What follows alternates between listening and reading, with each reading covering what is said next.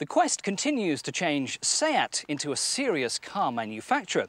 Indeed, they now hold the title of Europe's fastest growing car maker, and it's probably not too far from the truth.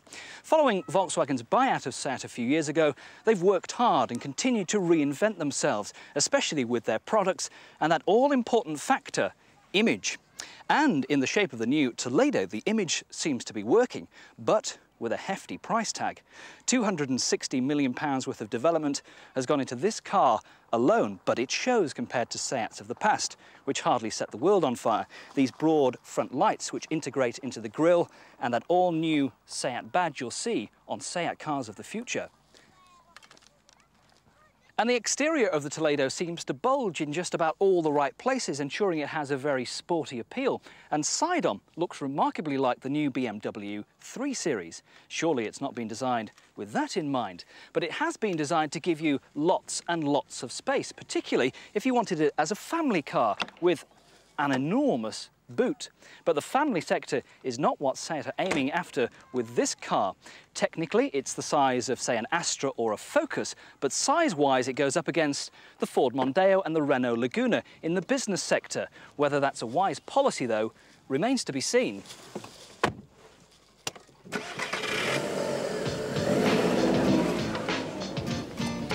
Within that sector, SEAT are battling it out with their competitors over safety, claiming unrivaled standards on the Toledo. These include seven onboard safety systems, which basically assist you with braking and keep you pointing in the right direction. You also have four airbags and three three-point seatbelts in the back of the car. Out on the road, the Toledo is actually quite a fun car to drive, ensuring it adheres to the manufacturer's philosophy of enjoy yourself. It shares the same platform as the Audi TT and the Volkswagen Golf. It's all part of VW's philosophy of brands sharing the same platform, but it does seem to work, so you can't quibble with that.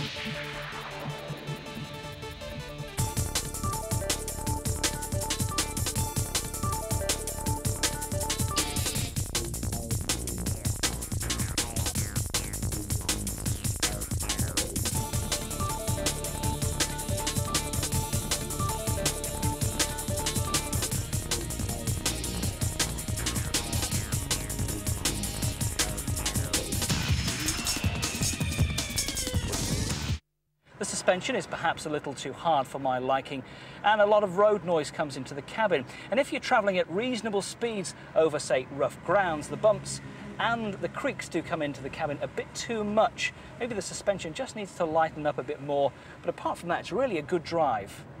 Performance is good from this 1.8 litre engine, 0 to 60 time of around 10 seconds and a top speed of 120 miles an hour.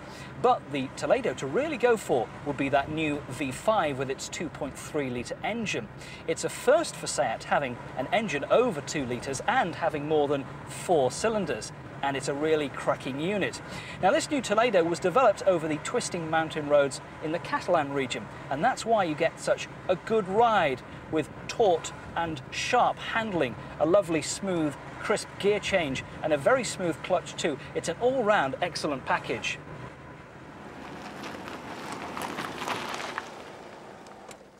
Now, one of the best things about the new Toledo is the amount of room inside for the passengers, both in the rear and here in the front. Lots of space, comfortable seats, and also lots of headroom too, thanks to that high roof line. And inside you can see the similarities with its bigger brothers, both the Audi A3 and the Golf. Of course, this car shares the same platform as those two from the VW stable. You get the same sort of quality, the same switchgear and controls too. Rather smart cup holders, a quality stereo system, air conditioning, electric windows all round, and these rather smart chrome door handles, which just round it off.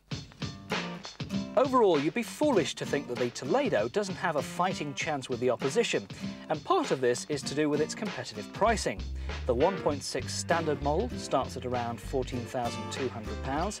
For this 1.8 20 valve version, priced at around £16,795 on the road. You really don't have to splash out too much more money for the top of the range Toledo either. The V5 2.3 litre is priced at £17,595. And for a change, those extra little luxuries, including climate control and leather seats, come at a reasonable price.